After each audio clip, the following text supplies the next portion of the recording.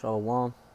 First and foremost, giving all praise, all honor, and all glory to Yahweh, the God of Abraham, Isaac, and Israel. And I do so in the name of his only begotten Son, who the world ignorantly calls Jesus Christ, real name Yahweh Shah Mashiach. It's the brother Pagaya Allah Banashar, Sakari Toronto sect, coming once again with another lesson to the Lord willing, uh, uh, edify the land and feed the sheep.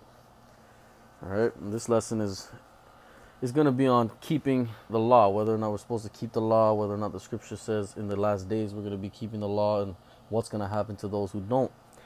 Right? One of the first things that you learn when you come to this truth is you got to keep the law. Right? But here we have it 2020, you got brothers bugging out, right? Completely bugging out of their minds, falling out of the truth, you know, as scripture says would happen. Now teaching that you don't got to keep the law no more. All right, these are men that are that know that they're Israelites, talking about we're not supposed to keep the law anymore, man. Okay, so I'm just gonna uh, uh, examine that and go through the scriptures and, and thoroughly cut it through the spirit and power of Yahweh Hashem Yahushai. I'm gonna start at Jude, because Jude wrote of these guys, man. All right, this is the book of Jude, chapter one, verse three. It says, "Beloved, when I gave all diligence to write unto you."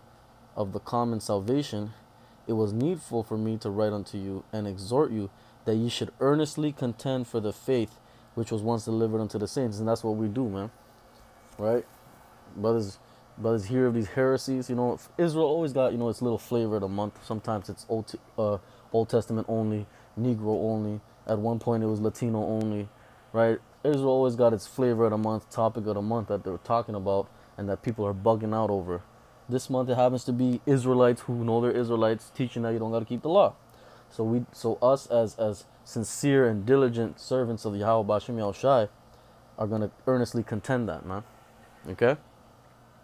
And it says, um, for there are certain men crept in unawares who were before of old ordained to this condemnation, right? And then that's that's the thing. That's the thing we got to understand that these people were already ordained and, and prede- predestined and predetermined to fall out and bug out the, the way that they're doing, man. So we can't marvel and, and be in awe at this. You know, it's expected. It comes with the territory. The longer you're in the truth, the more you're gonna see brothers come in and fall right out, man. You know? Um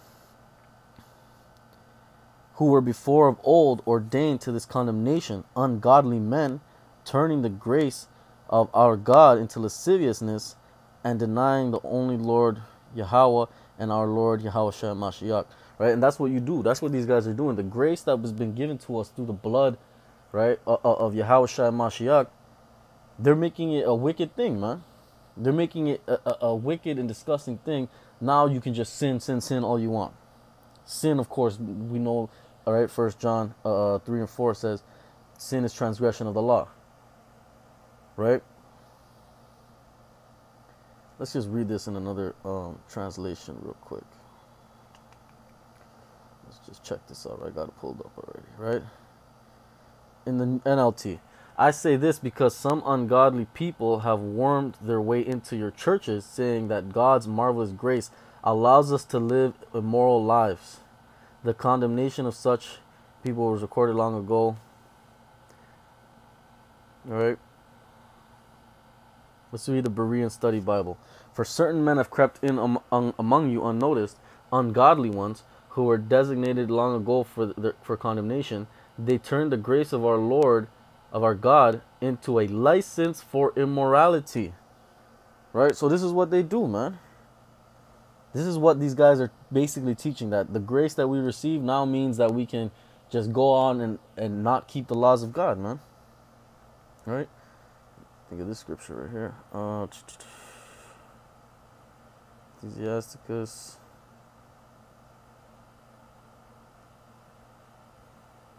Right, this is the book of Ecclesiasticus, chapter 15, verse 20.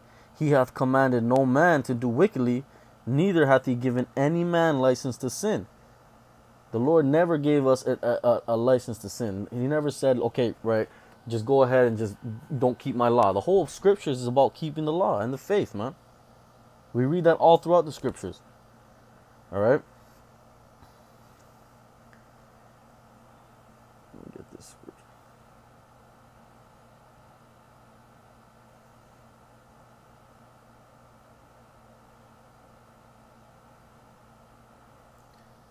this is the book of Proverbs, chapter 6, verse 23. For the commandment is a lamp, and, they, and the law is light, and reproofs of instruction are the way of life. Right? So these guys have, right? We're about to get that precept too. These brothers have no light in them. If you're not keeping the law, there's no light in you. There's nothing guiding you in, in, in, in how you should act while, while going throughout the world, man. Okay? Let's just go right to it.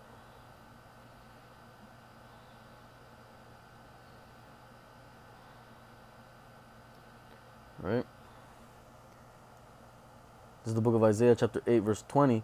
To the law and to the testimony. If they speak not according to this word, it is because there is no light in them. So there's no light in you. You're not teaching. You're not. You're the words that are coming out of your mouth aren't filtered by the law and the testimony. There is no light in you, man. Okay. We're just gonna be hitting these precepts. All right.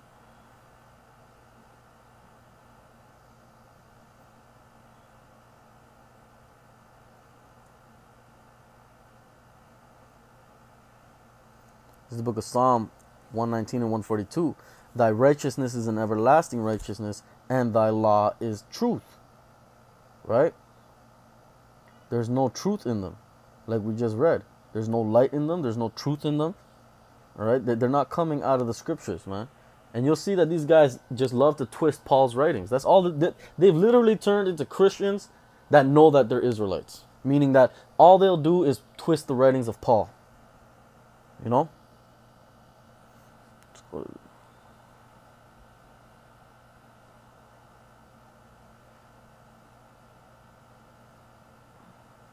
this is the book of St. John, chapter 3, verse 19.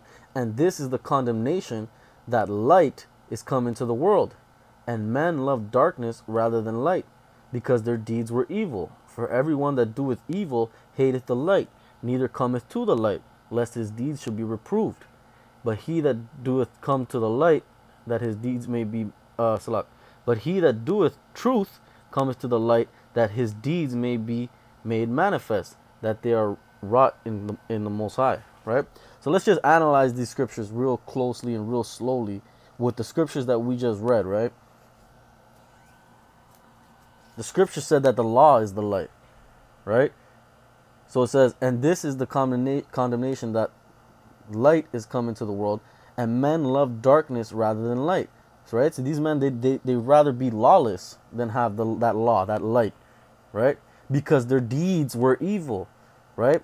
Because if you're not keeping the law, you're not keeping the acts or the deeds of the law, you're doing wickedness, you're doing evil, right?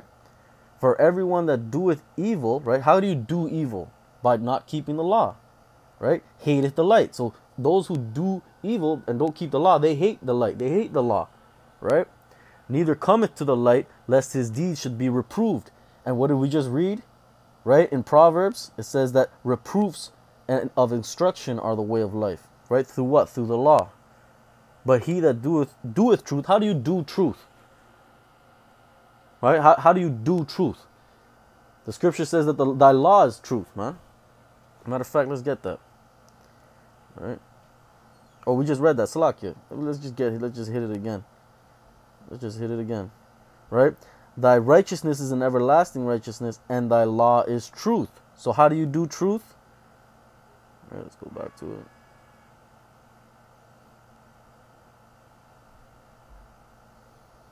Right?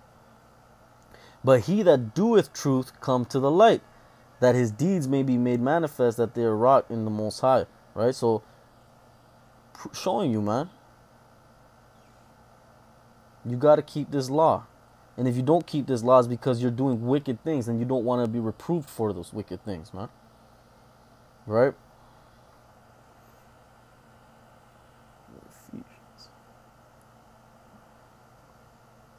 This is the book of Ephesians, chapter 5, verse 5. For this ye know that no whoremonger, right, which is in the law, nor unclean person in the law, nor covetous man in the law, who is an idolater in the law, hath any inheritance in the kingdom of Hamashiach and the Most High. So if you are breaking these laws that are just that were just listed, because you can find these things in the Mosaic law, you're not going to inherit the kingdom, right? Let no man deceive you with vain words, which is what these guys are coming with. Vain words, twisting the, the, the scriptures, twisting the letters of Paul to suit their, their, their doctrine, right? Let no man deceive you with vain words, for because of these things cometh the wrath of the Most High upon the children of disobedience. Disobedient to what? Exactly. What are we what what what is the wrath coming on the children of disobedience? What are they disobedient to? Right? The scriptures talk about us being uh, the wrath of the Lord coming upon our people because of disobedience to his law. But here you have it. These niggas are talking about you don't got to keep the law. But Paul's talking about wrath coming on those who are disobedient. Right? Verse 7. Be not ye therefore partakers with them. Right? Don't, don't, right? Leave them alone, man. Watch, watch that whole council is going to come to naught because it's not of man. I mean, aslaki, it is of man and not of the Most High. Right? For ye were sometimes uh, darkness, but now are ye a light in the in the Lord. Walk as children of light. For the fruit of the Spirit is in all goodness and righteousness and in truth, proving what is acceptable unto Yahweh. Right? So we're going to analyze these things. Right? What, what the fruit of the Spirit is in all goodness, righteousness, and truth. So we're going to analyze these words and see how they, they, they relate to the law according to scriptures. Right? So the book of Romans, chapter 12 verse 2. Right? And be not conformed to this world, but be ye transformed by the renewing of your mind, that ye may prove what is good and acceptable and perfect will of the Most High. Right? These words we're also going to analyze, right? So let's go. Let's see, let's deal with the will first, first and foremost. The will of God, right? This book of Psalm, chapter 40, verse 8. I delight to do thy will, O my power. Yea, thy law is within my heart. So the will of the Lord is that you have the law of God, his law, within your heart. That's his will, right? Let's go. Titus chapter 3, verse 8. Right? This is a faithful saying, and these things I will that thou affirm constantly that they which have believed in the Most High might be careful to maintain good works. These things are good and profitable unto men. Right? Talk. See, these brothers talk about, oh, it's all about the faith. We're not denying the faith, but you can't deny the good works either. The works. Okay. Um. Let's see. Good works. Let's see what's good. What what what are good works? Let's see according to the scriptures. Right? Let every man be a liar, let the Most High be true. This is Proverbs chapter 4, verse 2. For I give you good doctrine, forsake ye not my law. So that's good doctrine, the law of the Most High. Right? Let's go back to the to, to, to the scriptures of Paul. Because we love Paul, man. Don't get it twisted. You guys just don't know how to read his writings properly, man. Right? This is Romans chapter 7, verse 12. It says, Wherefore the law is holy, and the commandment holy and just and good. So so the scriptures Paul himself is saying that the law is holy, that the law is good. Right? So so where are you guys coming out that, that we're we're denying Yahweh Shai because we keep the law and teach to keep the law? Right?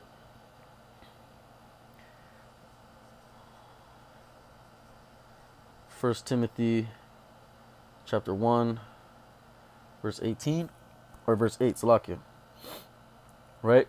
But we know that the law is good if a man use it lawfully. So here we have it's being said that the law is good. Right? Get more because we can do this all day, man.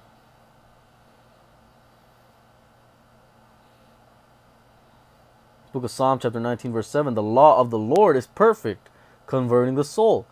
The testimony of Yahweh is sure, making the wise simple right? So here we have it, right? We read Ephesians and we read Romans, and it said, right, to, ha- to have righteousness and truth and, and good and acceptable and perfect will of the Most High. And we went through the scriptures and showed every single one of those words being attributed to the law.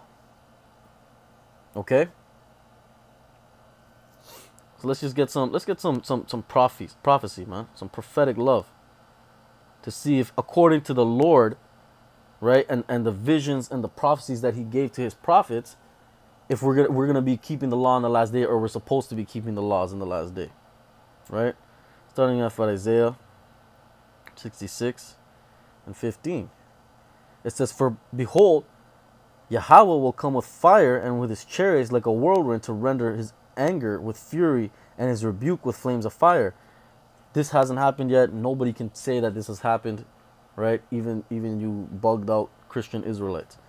For by fire and by his sword will the Lord plead with all flesh, and the slain of the Lord shall be many. They that sanctify themselves, sounds familiar, and purify themselves, right? In the garden behind one tree in the midst, eating swine's flesh. And the abomination and the mouth shall be consumed together, saith Yahweh. Right? So, if you're breaking the Levitical law, the dietary law, Leviticus 11, you're going to be destroyed. You're going to be consumed by the Lord. So, how is it that you're telling me that we don't got to keep the law anymore? Right? Let's get some apocryphal love, man. Right? Second Esdras 9. I'm going to start at 7. And everyone that shall be saved. Right? The scripture says, he, he who endured to the end, the same shall be saved. So we're talking about end times right here. Everyone that shall be saved and shall be able to escape by his works, right? And by faith, right? Because we do not negate the faith, uh, right? We couple faith with works. Because without each other, they're dead being alone as it is written by, by, by, by St. James, man. Right? Whereby, whereby ye have believed, shall be preserved from the said perils. Right? So the people who, who escape by their works and by their faiths shall be preserved from the said perils written of in, in, in the book of Esdras, and shall see my salvation in my land and within my borders, for I have sanctified them from the beginning. Right? Just like the people who have been sanctified to bug out from the beginning. Those who are going to keep the, the works and the faith have been sanctified from the beginning. Right? Verse 9. Then shall they be in a pitiful case, which now have abused my ways, and that ha- they that have cast them away despitefully shall dwell in torments. For such as as in their life have not re- have received benefits and have not known me, and they that have loathed my law, which is usually this gets brought out on these Christians, man. Now I got to bring this out on you, you brothers that are Israelites that taught the law, that, that were on the highways and byways.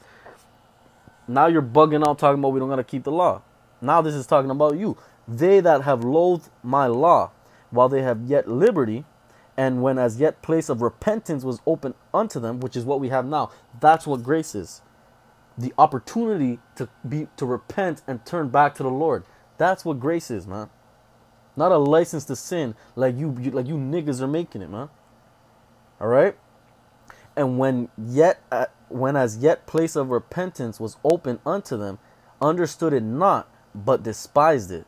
The same must know it after death by pain. And that's when you're gonna know. That's when you're gonna realize, man, you were you were the one that the scriptures talk about that was gonna be that was foreordained to be destroyed, a vessel of wrath, right? A vessel uh, uh, fitted for destruction, man. Okay, that's when you're gonna know. All right. Now let's go to let's go to Yahweh Shai, man, because these guys talk about I'm in Christ, I'm in Christ, I don't gotta keep the law, I'm in Christ, right? Let's see what Yahweh Shai prophesied, man. All right, this this scripture is actually the one that inspired this lesson, man. Right, as I was reading it, I realized Yahweh Shai is cutting these niggas, man. All right, this is the book of Matthew, chapter 13, verse 36. Then Yahushua, then sent the multitude away and went into the house, and his disciples came unto him, saying, Declare unto us the parable of the tares in the field, of the field. Right? So he's gonna break down all the, the parables that he gave out, right? That that the, the rest of the people couldn't understand. He's gonna give his disciples a breakdown, right? Verse 37. He answered and said unto them, He that soweth the good seed is the Son of Man. The field is the world, the good seed are the children of the kingdom, but the tares are the children of the wicked one. Verse 39 The enemy that sold them is the devil. This is the key point. The harvest is the end of the world, and the reapers are the angels. The, the harvest being the end of the world is the, is the key point. So this is end times, right? Verse 40. As therefore, as therefore the tares are gathered and burned in the fire, so shall it be in the end of this world. Verse 41 The Son of Man shall send forth his angels, and they shall gather out of his kingdom all things that offend, and them which do iniquity. So, according to Yahweh Shai, in the end of the world, the angels are going to gather up all them that offend and those which do iniquity, right? And shall be cast and shall cast them into a furnace of fire. There shall be wailing and gnashing of teeth. Basically, you're going to be destroyed, man. If you're offending and you're doing iniquity, you're going to be destroyed. Let's go into these words real quick, right? All things. Let me see this. So this word here that that is the word for things, right? Individually, each, every, any, all, everyone, all. So, and it's used mostly for the word all. See that? 715 times all. Things 145 times. Right? So, really, this should say, The Son of Man shall send forth his angels, and they shall gather out of his kingdom all, because that word should be all. So, it should just say all. All that offend and them which do iniquity. Let's see what this word offend means. Right? G4625, scandalon, right? A snare, let's see, a movable stick or of a trap, a trap stick. Any impediment placed in the way, causing one to stumble or fall, right? Applied to to Yahweh Shai, whose person and career. Uh, any person or thing by one is entrapped, drawn into error or sin. Sin, right? Transgression of the law. Right? You see iniquity. Right? The condition, right? It's the word uh, uh, G458, an anomia, right? Illegality, that is violation of law or generally wickedness, right? the condition of without law, so being lawless, like these like these like these brothers, these niggas are teaching, right? Because of because ignorant of it, because of violating it, contempt and violation of law, iniquity and wickedness. Let's go to the, the, the root word, right? Anomos, right? G four five nine, right? Look at that, destitute of the Mosaic law departing from the law, a violator of the law, lawless, wicked. Okay? So it says, The Son of Man shall send forth his angels, and they shall gather out of his kingdom all things that offend, and them which do iniquity, all those that sin, and all of those that are without the law, the Mosaic law, and shall cast them into a furnace of fire. There shall be wailing and gnashing of teeth. So if you're not keeping the law according to Yahweh Shai, you're going to be destroyed, man, in the last days if you're not keeping the laws of God, the Mosaic law. Right? So so you brothers that talk about I'm in Christ, I'm in Christ, Christ said that if you don't keep that law in the last day, you're going to get thrown into the furnace of fire. Right? Um Let's just take a look at this scripture in another translation real quick too. Right? Got it pulled up. Right, Matthew 13 and 41. It says, look at look at the ESV. The Son of Man will send his angels, and they will gather out of his kingdom all causes of sin and all law breakers. All right, Berean Study Bible. The Son of Man will send out his angels, and they will weed out of his kingdom every cause of sin and all who practice lawlessness. Right? Keep saying it. All those who practice lawlessness, all who commit lawlessness, practice lawlessness. Right? See that? All about lawlessness. Okay? So what makes you think, you know, that you're going to be able to just be out here sinning in the last days and not be destroyed when Yahweh Shah HaMashiach, the, the man who you claim to be in, right? I'm in Christ, I'm in Christ. He said you're going to be destroyed if you're practicing lawlessness. Right? All right, so you you you get you niggas need to repent. All right, and come back to, to, to this truth, man. All right. But with that, I want to give all praise, honor, and glory to Yahweh, Ba'ashem Yahushai, and Shalom.